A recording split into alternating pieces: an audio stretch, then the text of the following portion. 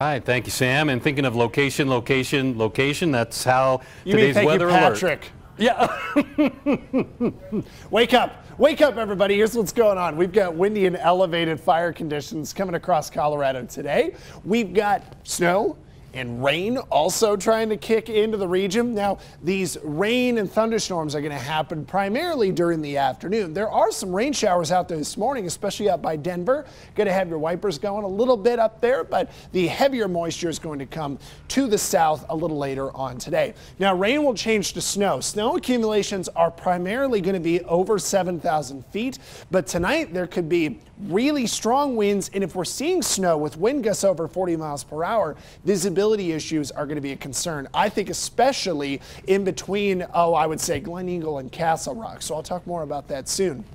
Here's the radar. We've got most of our moisture still moving into western Colorado as we speak. There is a bit more rain and snow out there that we can see on Doppler, but we've got some snow over the Sangre de Cristos, and we're kind of looking to see what sort of sprinkle or shower we get from Teller County and northern El Paso County up to Denver. Now, we are going to bring snow into the forecast tonight through early tomorrow morning. Snow showers will start in the Pikes Peak region, and then as the atmosphere cools, the snow will leave to the south. So areas like Rye, Walsenburg, and Trinidad we'll get some snow a little longer tonight than we'll see up in northern El Paso County. Now, the thing is, Monument is a little bit of a wild card in the snow forecast. Models are trying to put double my forecast over Monument Hill but I think the air is too warm. I think the ground is too warm. So this is my forecast for accumulation right now. We're going to reassess the Monument Hill snow forecast through the morning when we get some more model data fed in. But I'm pretty comfortable with these totals right now.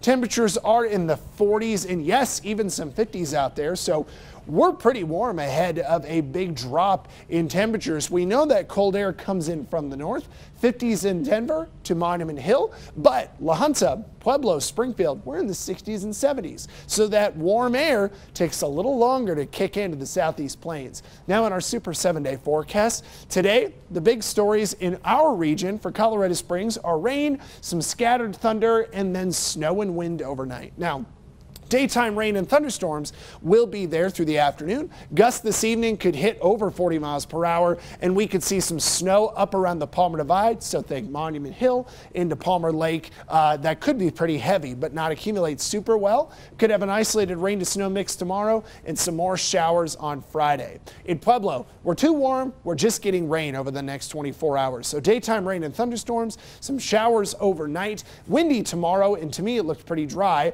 with warmer air over the weekend.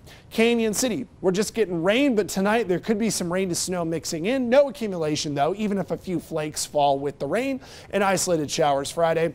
Woodland Park, it could be a heavy snow this evening, anywhere from about two to five inches, and we're accounting for some melting on pavement there. Kind of a rain to snow mix tomorrow and some moisture on Friday. Let's hit traffic.